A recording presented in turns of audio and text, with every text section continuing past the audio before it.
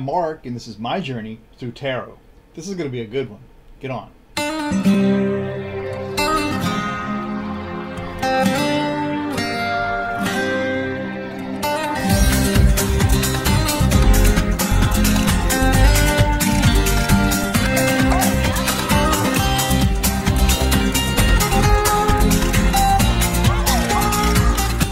Okay, amazing interview I saw today and uh, on TV with uh, Michael Cohen.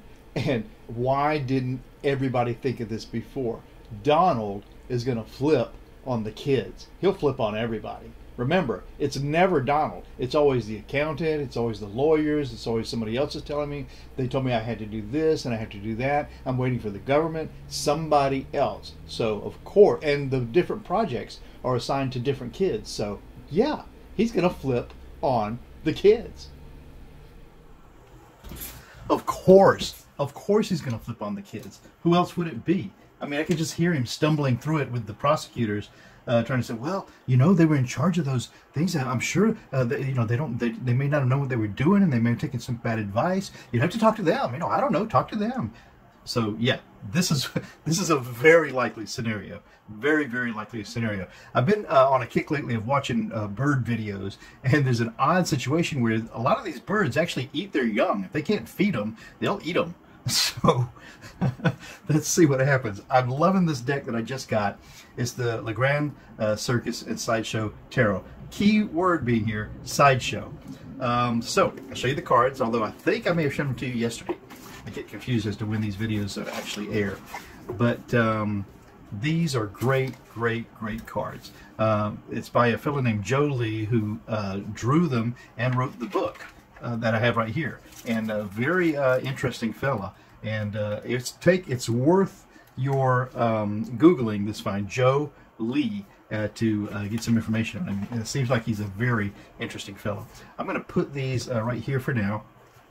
I'll show you the cards, and uh, they're fantastic. They're colorful, they're insightful, um, they're beautifully drawn, and um, there's I really find nothing wrong with these cards whatsoever. They're easy to use, they've got a good texture, and um, so here we go. And uh, they just, I think these are now my um, DT cards. They're the ones for him. What else could you use except for a sideshow uh, circus uh, depictions? So here we go. We're going to see how this is going to shape up for DT. Will he flip on the kids? Of course he will.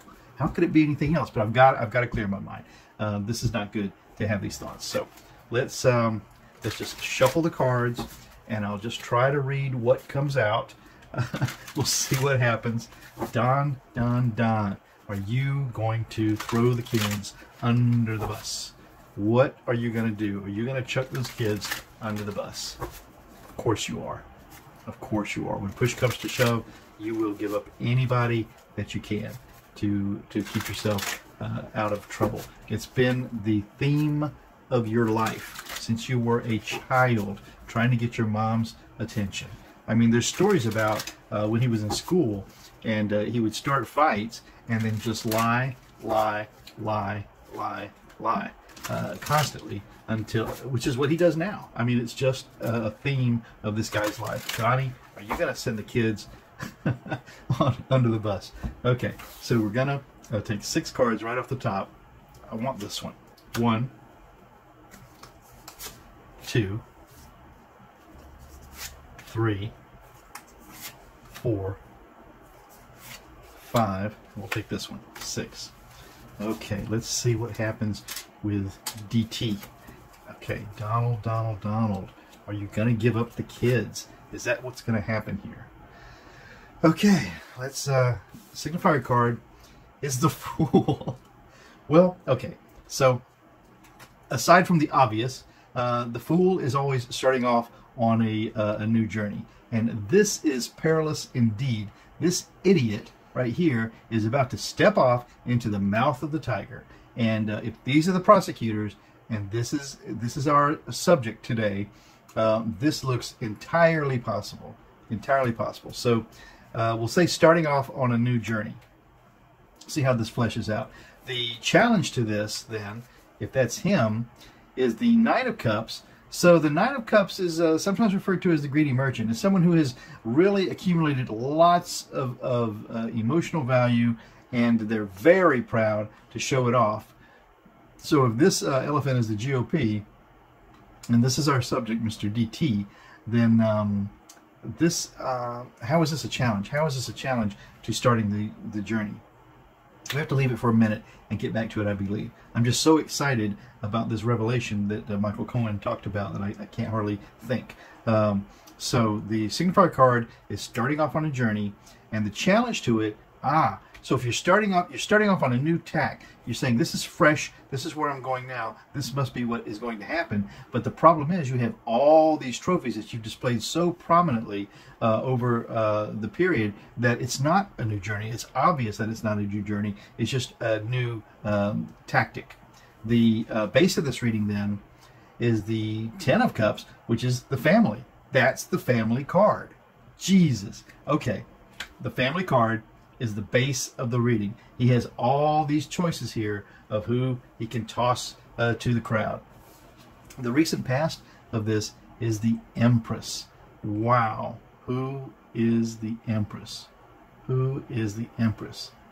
Is this Ivanka?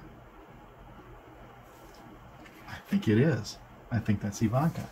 And then the sky of this reading uh, is the Page of Wands, so bringing some new uh, information, some new plans uh, to the scene.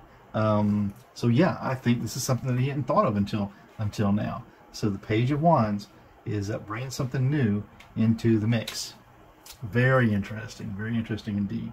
And then the likely outcome for this first part of this uh, Celtic cross, it then is the Page of Swords. Oh, let me think about this. So the Page of Swords is, um, again, just like this page, they are the weakest of the court cards. They're the ones bringing an idea. And so he's ready to swallow fire. He's ready to uh, swallow down whatever it takes um, to get this idea off the ground. Man. Okay. So now let's let's focus in on the self. I'm gonna have to start learning to put these cards in a different position because I'm liking this space over here for spreading these cards out. So the self, self, self of Donald Trump as we consider will he flip on the kids? Jeez. Um, justice. Trump as justice. Trump as justice. I can't even uh, twist my mind uh, into that, um, except to say that uh, in his mind, uh, this is only fair. I can just see him in front of the prosecutors now. Yeah, they were running those projects. I didn't have anything to do with it. You know, that's not fair to blame me. Justice, his own twisted kind of justice. Uh, the environment that this justice is in then is what? It's uh, the Eight of Pentacles, and the Eight of Pentacles is honing your craft, getting things down exactly right, exactly the way they need to be. And uh, that's what this fella does. He just continues to stick to his uh, path. Whatever attack he goes off on, he stays on it until it's perfectly um, ingrained. My goodness. Um, the um, uh, hopes and the fears for all of this, uh, let's go down here for that one, is uh, the King of Swords. And uh, the King of Swords, man, okay, this is the King of, you know, swords uh, represent usually truth, justice, rules, law. Um, but we're talking about a circus sideshow here. So this uh, king of, of his own uh, rules um, is in complete control. He's this is the fellow who is the call him the uh, hawker, the caller, the fellow who stands outside the exhibit and brings people in, telling them all the wonderful things that are inside, that are alive, that they can come in to see and uh, and he will twist uh, his descriptions into whatever it takes to get people inside that tent. So the King of Swords is certainly uh, who um, he is, and uh, and then the final outcome for all of this is going to be the Ace of Wands. Oh, man, so the Ace of Wands is a great big plan. This will be the final straw, I think. It may be his fallback plan after everything else has failed, but I bet you it's going to be in the headlines that he starts serving up his kids. Eventually. it'll take a long time for us to figure out if this is what is, is uh, to remember this reading in the future when this starts happening. But yeah, this seems very, very likely to me. So why hadn't any of us thought about that before? He has no love for these uh, these these these offspring of his. They're they're just trophies. They're what he accomplished. And um, I think yeah, rather than go down himself, I think he'll start eating the kids. so the the the signifier of this uh, of this whole thing was he's a fool. That's it. Okay.